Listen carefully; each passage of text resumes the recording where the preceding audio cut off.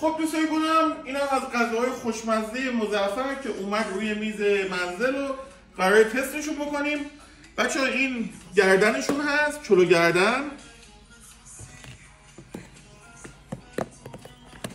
جوجه حلزونی. بچه ببینید چقدر بسته بندی ها مرتب. اینجا نگاه کنین بچه انواع خورشتی که گذاشتن. فکر می‌کنم قیمه هستش. قرمه سبزی و احتمالا قیمه بادمجون. این در واقع زرش پلو با مرغشون هست. انواع سالاد ماست. چقدر مرتب ترچینشون هست و باقالی پلو با ماهیچهشون یا گردنشون که اینجا در واقع گردن رو گذاشتیم اینم ماهیچهشونه. بچه اینم در واقع میرزا قاسمیشون هست که فوق است. اینو من اونجا نشستم با برنج داخل آشپزخونه زدم بر بدن. که فوق العاده خوشمزه بود. بچه این کوبیدهشون هست.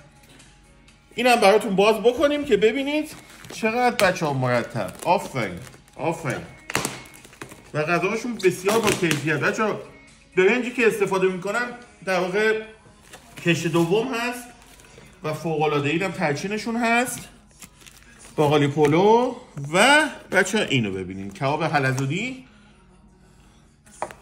خورشتاشون هم من باز بکنم که دیگه ببینید و بعد با هم دیگه می‌خوایم یک دونه از غذاهاشون که خیلی خاص هست رو تست بکنیم.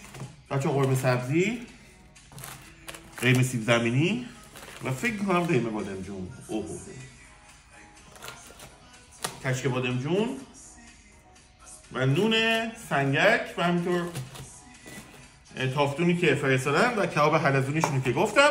و بچه این نکته رو می‌خوام بهتون بگم. این در واقع ساندویج های کوبیدهشون هست که بهتون نشون دادم چجوری درست میشه. بریم سراغ تستش.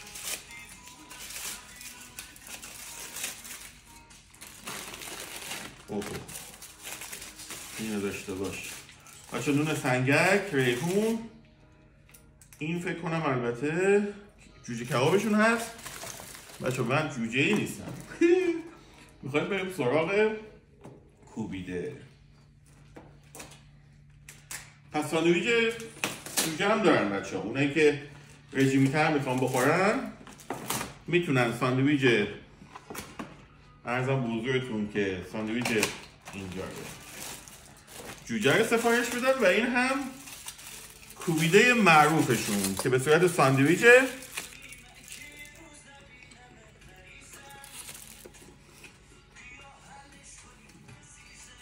ساندویچه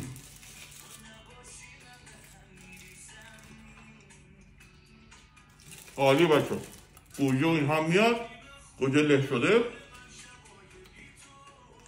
با نون سنگه که چرب شده فوق العاده خالی؟ می‌بینم تو. زبن سه تا شعبه دارم بچه ها تهران فاطمی و شریعتی سر قلحک می‌بینم تو.